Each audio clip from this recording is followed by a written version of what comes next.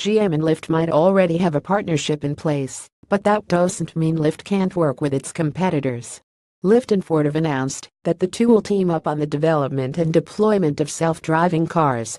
The agreement will see Ford putting self-driving vehicles on Lyft's open platform, which will not only allow Ford to integrate into Lyft's ride-hailing system, but it will also allow Ford to access a number of real-life driving scenarios from which Ford self-driving cars can learn how to act and react we strongly believe that leaders across industries should work collaboratively to introduce self-driving technology in a way that positively impacts our cities, Lyft said in a blog post. Our two companies share a core belief that the future of transportation will meaningfully reshape how cities are designed and improve the lives of people who live there.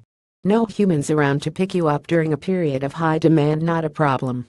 Ford the idea is that, one day in the future, you can order a car through the Lyft app and have a self-driving Ford arrive at your doorstep to shuffle you off to wherever. There's plenty of work to do before that happens, though. Ford and Lyft will work together to figure out where these kinds of services are needed and determine what kind of infrastructure is necessary for such a deployment. Before any self-driving vehicles enter Lyft's ranks, Ford will first deploy human-driven vehicles to test interfaces and platform integration.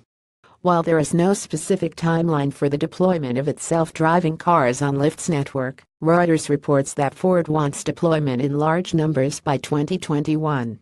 We expect that our partnership with Lyft will accelerate our efforts to build a profitable and viable self-driving vehicle business, Ford said in a blog post. With Lyft's network and respected brand experience, we expect our ability to scale self-driving vehicles will play a critical role in safely bringing this technology and its many benefits to mainstream consumers. Ford is also working to gauge consumer reaction to self-driving vehicles through a partnership that will see self-driving Fusion sedans delivering pizzas to customers in Ann Arbor, Michigan.